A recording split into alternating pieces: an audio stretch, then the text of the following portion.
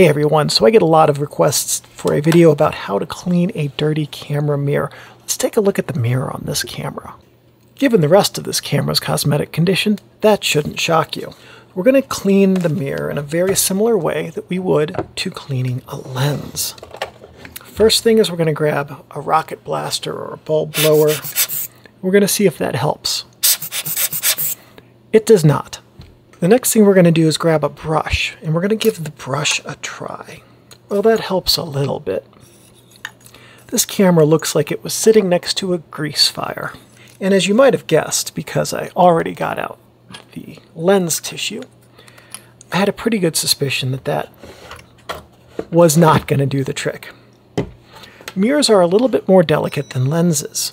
So I'm going to use here a Carl Zeiss lens cleaning uh, fluid. This is what they make for their uh, camera lenses. I think the packaging now is a little bit different.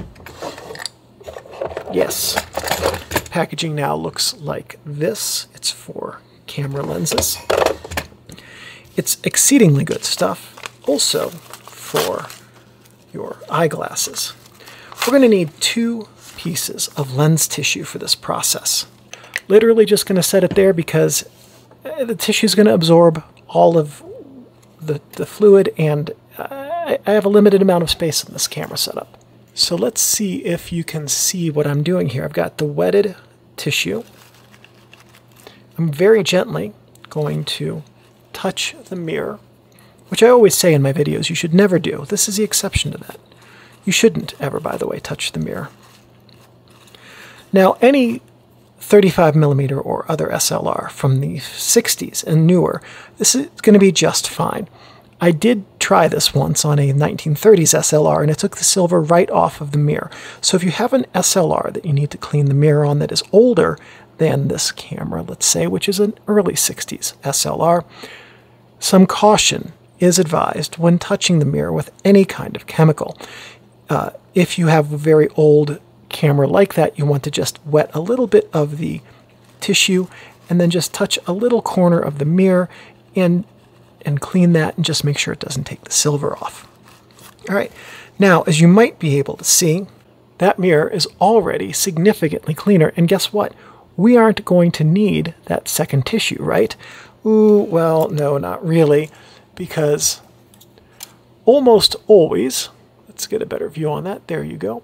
When you have a dirty mirror, you've got a dirty viewfinder.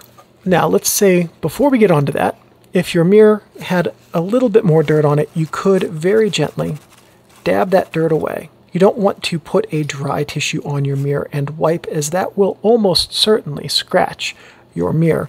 But if you have a little piece of, let's say, dirt that is being persnickety, you could tap at it with your lens tissue. You could also get a cotton swab and tap at it. I don't necessarily recommend that because cotton swabs are pretty darn coarse and can run the table with your mirror's coating.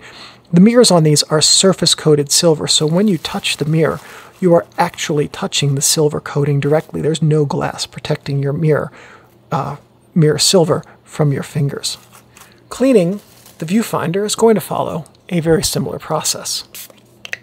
Because viewfinders are often recessed, I find it helps to wad up your tissue and just kind of reach into it.